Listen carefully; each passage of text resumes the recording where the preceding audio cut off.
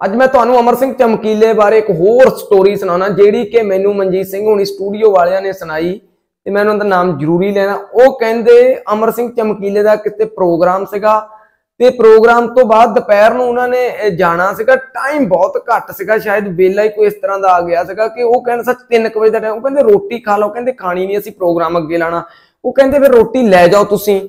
ਕਹਿੰਦੇ ਜੀ ਨਹੀਂ ਲਿਜਾਣੀ ਵੀ ਨਹੀਂ। ਉਹ ਕਹਿੰਦੇ ਤੁਸੀਂ ਟਿਫਨਾਂ 'ਚ ਰੋਟੀ ਪਾਣੇ ਟਿਫਨ ਡੱਬਿਆਂ 'ਚ ਪਾਣੇ ਆ, ਤੁਸੀਂ ਲੈ ਜਾਓ, ਕੋਈ ਨਹੀਂ ਦੋ ਚਾਰ ਟਿਫਨ ਆ ਦੋ ਦੋ ਤਿੰਨ ਤਿੰਨ ਸੌ ਦੇ ਟਿਫਨ ਹੋਣਗੇ ਉੱਤੇ ਕੀ ਤੁਸੀਂ ਰੋਟੀ ਲੈ ਜਾਓ, ਅਸੀਂ ਪੈਕ ਕਰ ਦਿੰਨੇ ਆ। ਕਹਿੰਦੇ ਚਮਕੀਲਾ ਸਾਹਿਬ ਕਹਿੰਦੇ ਬਿਲਕੁਲ ਨਹੀਂ।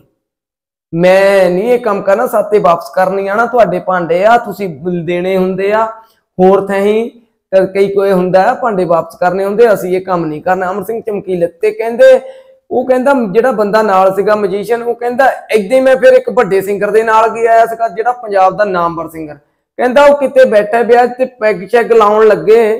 ਕਹਿੰਦਾ ਪੈਗ ਸ਼ੈਗ ਲਾਉਂਦਿਆਂ ਲਾਉਂਦਿਆਂ ਬਾਅਦ ਜਿਲੇ ਕੰਮ ਖਤਮ ਹੋ ਗਿਆ ਤੇ ਕਹਿੰਦੇ ਆ ਗਲਾਸੀਆਂ ਰੱਖਦੇ ਤੇ ਉਹ ਵੱਡਾ ਸਿੰਗਰ ਕਹਿੰਦਾ, ਉਹ ਨਹੀਂ ਓਏ, ਗਲਾਸੀਆਂ ਗੱਡੀ 'ਚ ਰੱਖ ਲਓ, ਫਿਰ ਇਹਨਾਂ ਨਾਲ ਪੈਗ ਸ਼ੈਗ ਲਾ ਕੇ ਜਾਂਦੇ ਹੋਏ ਉਹਨਾਂ ਦੇ ਘਰ ਵਾਲਿਆਂ ਦੇ ਗਲਾਸ ਗਲਾਸੀਆਂ ਹੀ ਲੈ ਗਏ ਗੱਡੀ 'ਚ ਰੱਖ ਕੇ।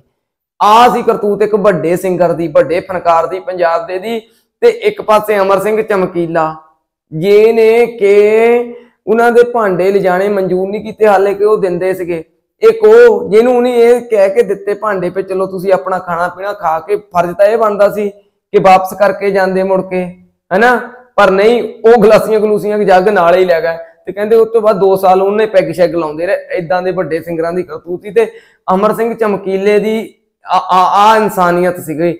ਤੁਸੀਂ ਹੁਣ ਆਪੇ ਦੇਖੋ ਵੀ ਚਮਕੀਲਾ ਕਿੱਡਾ ਵੱਡਾ ਸੋਚ ਦਾ ਧਨੀ ਹੋਊਗਾ ਤੇ ਜੇ ਚੰਗੀ ਲੱਗੀ ਵੀਡੀਓ, ਤੁਸੀਂ ਗਾਹਾਂ ਤੱਕ ਵੀ ਸ਼ੇਅਰ ਕਰ ਸਕਦੇ ਹੋ, ਹੋਰਾਂ ਤੱਕ ਪਹੁੰਚਾ ਸਕਦੇ ਹੋ, ਸੋ ਚਮਕੀਲੇ ਨਾਲ ਜੁੜੀਆਂ ਜਾਣਕਾਰੀਆਂ ਮੈਂ ਇਦਾਂ ਦੀਆਂ ਲੈ ਕੇ ਆਉਂਦਾ ਰਹਿਣਾ ਆ ਪੇਜ ਨੂੰ ਜਰੂਰ ਤੁਸੀਂ ਕਰ ਸਕਦੇ ਹੋ, ਧੰਨਵਾਦ।